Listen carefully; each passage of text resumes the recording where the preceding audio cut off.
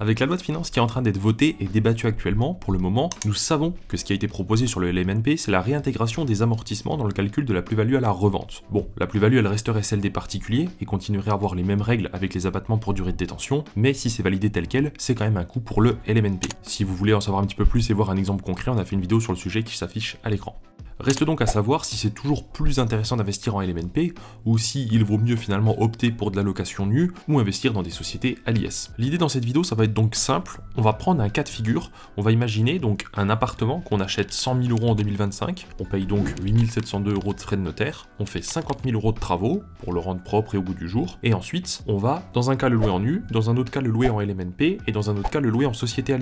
On fera deux exemples, une revente sur 10 ans et sur 20 ans. Et on va comparer les deux et on va voir dans quel cas de figure, et bien tout simplement vous avez le plus d'argent au bout du bout. Avant d'attaquer la vidéo, sachez que les simulations qu'on va faire vont être réalisées sur des simulateurs que vous pouvez vous-même acheter. C'est des simulateurs Excel que j'ai créés qui sont totalement automatisés. Il vous suffit d'aller sur le lien dans la description, c'est sur la page Selfie Store, c'est là où sont vendus les simulateurs. Et sachez que si vous avez besoin de conseils fiscaux plus personnalisés avec un expert, ou même tout simplement de nous confier votre comptabilité meublée ou des démarches juridiques en lien avec votre meublé, vous pouvez aller sur notre site LMNPAI, prendre un rendez-vous de conseil ou tout simplement vous inscrire gratuitement sur notre site et faire votre comptabilité et vous ne payez qu'au moment d'envoyer votre liasse fiscale. On est les moins chers de France en termes de tarifs sur la comptabilité en expert comptable, donc profitez-en. Allez, sans perdre plus de temps, on va tout de suite se concentrer sur la location nue. Le seul élément qu'il faut que je vous rajoute dans cet exemple, c'est que notre appartement, donc on a acheté 100 000 avec 8702 de frais de notaire, 50 000 euros de travaux, nous donne un prix de revient de 158 702 euros, d'accord? Et on va imaginer dans notre exemple qu'on le loue 800 euros par mois. Voilà, donc ça c'est notre loyer. Et pour s'adapter un petit peu à monsieur et madame tout le monde, on va imaginer que cet appartement a été acheté à crédit à hauteur de 130 000. Hein. donc la personne a mis un apport de 28 702 euros et sur un taux moyen de 3,60 sur 20 ans. Voilà, comme ça on a les données qui sont les mêmes pour les trois cas de figure et vous les avez en tête. Allez, on se retrouve tout de suite sur mon simulateur pour le déficit foncier. Voilà, du coup ici on se retrouve sur mon fichier donc à 19,90€ qui est le simulateur de déficit foncier en location nue.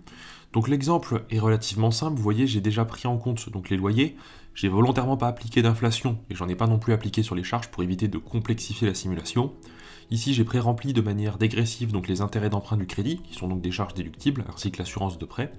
Et là on peut retrouver l'ensemble des charges, donc taxes foncières, frais d'agence, euh, charges propriétaires non occupants, et puis les charges de copropriété, euh, qui sont donc à la charge du propriétaire. Parce que vous savez, le locataire va payer aussi une partie des charges, mais c'est refacturé dans le loyer. Mais ici, le loyer qu'on a, du coup, c'est du loyer annuel hors charge. Bref.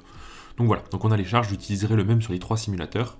Et bien évidemment, j'ai intégré aussi ici les 50 000 euros de travaux donc on va dire qu'ils sont tous éligibles au déficit foncier et que c'est vraiment de la rénovation intérieure. Donc là le calcul se fait automatiquement.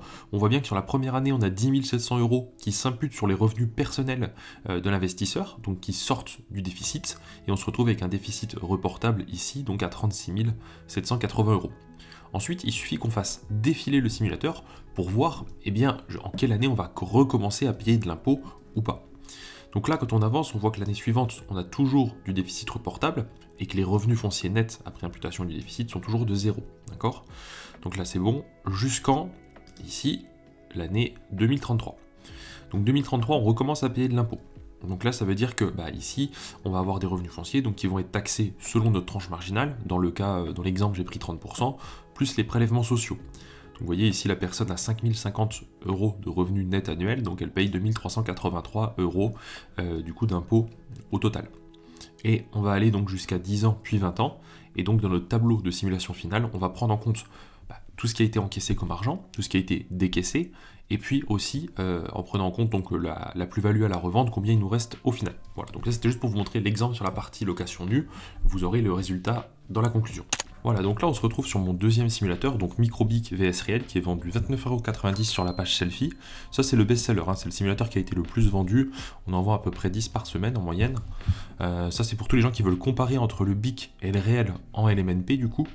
Et puis euh, bah, se faire une idée de savoir si c'est mieux peut-être de faire du meublé ou du nu, enfin voilà, c'est un outil qui permet de prendre des décisions. Donc sans plus tarder, on va regarder, alors Là, je vais faire simple. Euh, globalement, comme c'est un appartement qui est fictif, pour calculer les amortissements, donc les fameux amortissements qui vont être réintégrés euh, dans, la plus-value, et eh bien du coup, je peux pas prendre une vraie valeur terrain parce que bah, c'est pas un vrai appartement. Donc, je vais pas m'embêter. Je vais mettre, comme on fait, euh, vous savez habituellement, on va mettre un forfait donc de 15%, donc 15 000 euros par rapport au prix du bien, ici. Mais en réalité, normalement, bon, on a déjà fait des vidéos sur la chaîne, mais il faut aller calculer la valeur, enfin la taille de la parcelle, le prix du terrain constructible, etc. Donc il y a des méthodes à appliquer, mais là je peux pas le faire. Ensuite, comme c'est un appartement dans lequel on fait 50 000 euros de travaux, on va partir du principe qu'on achète un bien qui est quand même assez ancien, qui n'est pas forcément en très bon état. Donc on peut très bien imaginer que bon, l'électricité, plomberie, réseau, euh, on est sur quoi? On est sur un T3, donc du coup on va dire que ça représente à peu près ouais, 15%, 15% disons. Euh, si c'est en mauvais état, disons que c'est sur 15 ans, au lieu donc de 30-35 pour du neuf. La toiture, bon pareil, exemple fictif, mais comme c'est des appartements, souvent il y a très peu de pans de toiture, hein, donc on peut très bien se retrouver autour des 4%, donc ce qui ferait que 4000 euros de prorata de toiture. Admettons qu'elle est en bon état, on la sur 30 ans. L'aménagement, donc lui, il va représenter une grosse partie en général du, produit. Donc là, si l'appartement y a autant de travaux, c'est qu'il ne doit pas être en très bon état, donc on peut le mettre sur par exemple 10 ans. Et le gros œuvre, on peut imaginer qu'il est plutôt correct. 31%. Hein. Euh, et on va le mettre sur, admettons, 50 ans. Voilà, donc là ça nous donne nos amortissements annuels. Ensuite, bon normalement il y a du mobilier, mais là on a dit qu'on ne le prenait pas pour pas euh, perturber la simulation. Les frais de notaire, donc eux, normalement, ce qu'il faut faire, c'est une moyenne pondérée de l'ensemble des composants. Là, pour faire simple, dans la simulation, je ne vais pas m'embêter, je vais juste prendre la moyenne. C'est sur 26 ans, mais normalement, c'est une moyenne pondérée par composant. Et pour les travaux, si c'est principalement de l'aménagement intérieur, ça va être sur 15 ans. Après, dans l'eau, on voit qu'il y a de l'électricité, de la plomberie, donc normalement, c'est un petit peu plus long. Donc voilà, il faut décomposer en principe les travaux, mais comme là, c'est un outil de simulation, on ne peut pas aller non plus trop dans le détail. sinon, la vidéo durerait des jours et des jours. Donc j'ai repris les mêmes charges, hein, les mêmes loyers, les mêmes exemples que dans l'exemple précédent. Donc là, je vais juste mettre ça sur 20 ans et on va voir ce que ça donne. Donc là, quand on regarde sur cette partie-là, on voit, alors j'ai pas mis de frais de comptabilité, je vais rajouter les comptabilités et la CFE.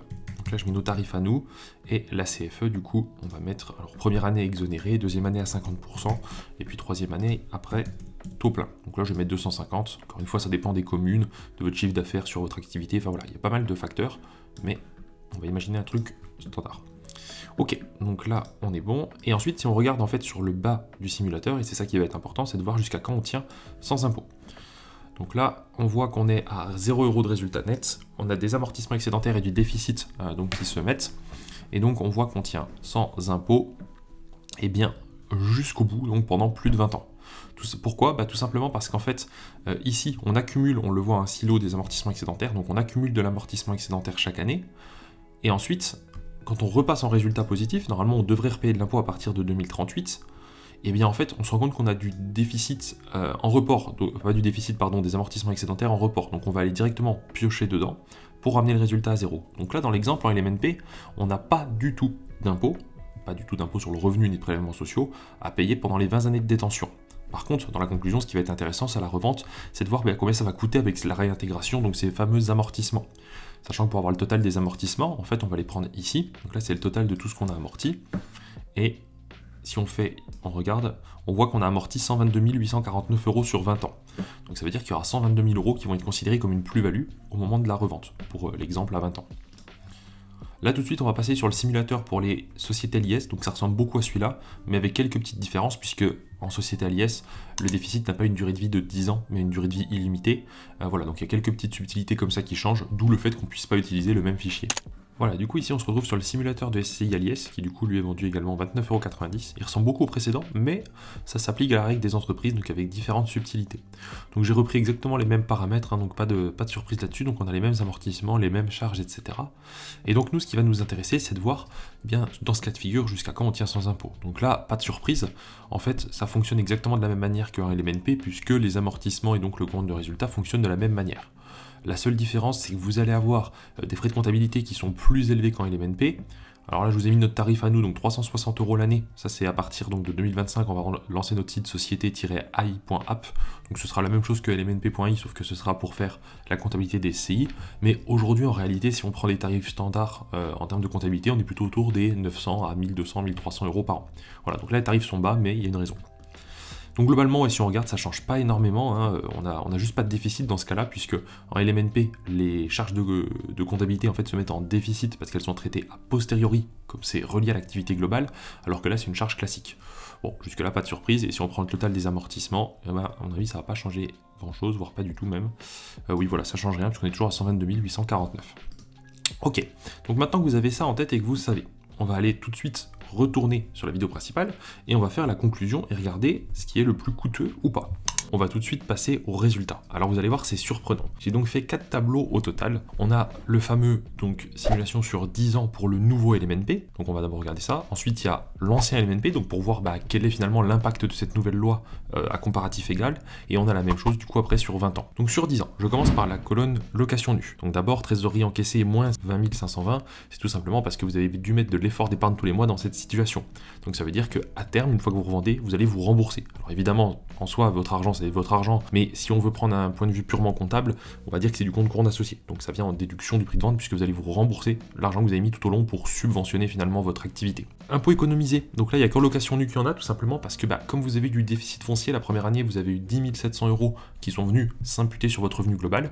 Et comme on avait dit qu'on simulait que vous étiez dans une, dans une tranche d'imposition à 30%, et ben, vous avez économisé sur l'année où vous avez fait les travaux 3210 euros d'impôt perso ce qui n'est pas le cas avec les autres, puisqu'en LMNP ou en SCLIS, ça ne s'impute pas sur les revenus globaux. Ensuite, impôts payés, donc ça c'est les impôts que vous avez payés tout au long de la détention. Donc là, du coup, on voit bien que vous êtes à 505 euros, puisqu'en location nue, vous avez de l'impôt à partir de la 9e ou 10e année de mémoire. Les autres, vous n'en avez pas pendant 20 ans, donc pas d'impôts payés. Et j'ai peut-être juste oublié de préciser ça, quand on voit ici qu'il y a une différence dans la trésorerie encaissée, c'est tout simplement parce qu'en LMNP, vous avez les frais de comptabilité et la CFE en plus que vous n'avez pas en nu, et en SCLIS, il y a aussi la CFE et des frais de comptabilité, mais un peu plus élevés. Voilà, donc c'est ça la différence. Ensuite, ici, on retrouve les plus-values taxable. Pourquoi en nu elle est si élevée alors qu'on a dit qu'on vendait donc l'appartement 200 000 euros et qu'on l'avait acheté pour un prix de revient donc de 158 702 Tout simplement parce qu'en fait quand on fait des locations nues et qu'on impute du déficit à la revente du coup du bien, en fait on peut pas euh, compter les travaux dans le calcul de la plus-value. C'est-à-dire que votre notaire va vous dire ah vous avez fait des travaux, vous les avez imputés sur votre déficit pour pas payer d'impôts pendant euh, voilà 9 ans, 10 ans. Donc moi ce que je vais prendre comme prix de revient pour calculer la plus-value, c'est votre prix d'achat plus les frais de notaire, mais les travaux je peux pas les prendre. Donc finalement, vous n'avez pas un prix de revient à 158 000, mais bien à 100 000 plus les frais de notaire, versus 200 000 que vous vendez. Donc il y a une plus-value taxable à 91 298. La taxe applicable, donc c'est simplement le taux par rapport aux années de détention. Donc là, je vous repartage à l'écran le tableau des plus-values immobilières. Donc là, on voit bien que c'est du coup 29,1% lorsqu'on est à 10 ans. Donc ça, c'est le, taux de taxe globale de la plus-value immobilière. Il n'y a pas de flat tax, vu qu'on est en nom propre quand on vend, bah, l'argent nous appartient. Et du coup, ensuite, on va rembourser la banque, puisqu'au bout de 10 ans, il nous reste un capital restant dû par rapport à notre prêt de 76 500 donc une fois qu'on s'est remboursé notre compte courant, qu'on a payé nos impôts, enfin qu'on a pris en compte qu'on a payé des impôts et qu'on a payé notre taxe sur la plus-value, en location nuit, il nous reste 79 565 euros. Ce qui est très amusant, c'est que sur 10 ans, on compare avec le LMNP et on voit bien que du coup maintenant, il est plus rentable sur des durées courtes d'être en location nue que d'être en LMNP ou en SCILIS. Si on regarde, euh, globalement c'est tout pareil pour le LMNP, sauf que la plus-value taxable elle est forte puisque vous avez non seulement la vraie plus-value, c'est-à-dire différence entre votre prix de revient et prix de vente. Alors là, attention, la subtilité, c'est que contrairement à la location nue, quand on amortit les travaux, euh, le notaire peut quand même le prendre en compte dans la plus-value.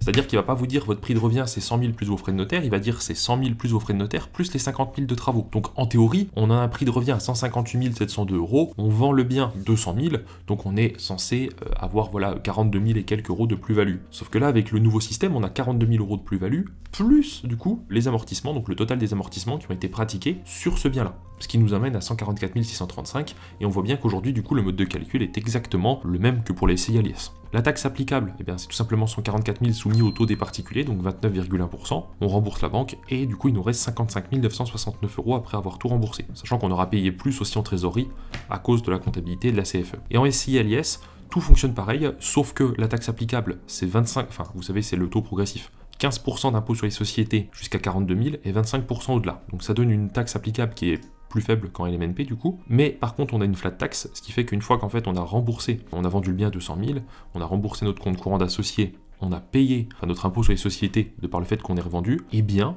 on se retrouve à devoir payer une flat tax si on veut récupérer l'argent. Dans ce cas de figure, je l'ai pris parce qu'en fait, comme on veut comparer, l'idée c'est pas de se dire on laisse l'argent sur la société pour réinvestir, parce que l'idée c'est vraiment qu'on ait le même comparatif. Donc là, on part du principe qu'on se récupère de l'argent, et donc au final, on se retrouve avec un seul boker de 66 492 euros en SILIS. Dans ce type d'opération avec du déficit à 10 ans, le LMNP devient maintenant le moins intéressant. Il faudra privilégier la location nue. Tout cas dans ce cas de figure avec du déficit. Si on regarde par rapport à l'ancien LMNP, donc là j'ai refait la même chose sauf qu'on réintègre pas les amortissements dans le LMNP, et du coup le LMNP passait bien évidemment en tête avec 83 507 euros de solde bancaire après avoir tout remboursé, alors que là aujourd'hui il est à 55 000. Donc ça veut dire qu'avec cette nouvelle loi, à opération égale, là on a perdu quasiment 28 000 euros d'avantage du LMNP, tandis que la location nulle, la SCLS, ne bouge pas. Maintenant on va reprendre la même chose sur 20 ans, donc là je vais aller beaucoup plus vite puisque du coup bah, c'est le même fonctionnement. Globalement en location nue, euh, là ce que je, vais vous, je suis en train de vous présenter c'est avec le nouveau LMNP. On se retrouve globalement avec donc un solde bancaire à 158 249 euros en location nue, 166 249 en LMNP, donc là le LMNP repasse en tête, donc c'est là le plus intéressant sur 20 ans, et la SILIS est bien derrière avec 101 848 euros. Pas de surprise pour la partie société LIS, on sait que sur le long terme c'est très taxé hein, les sociétés,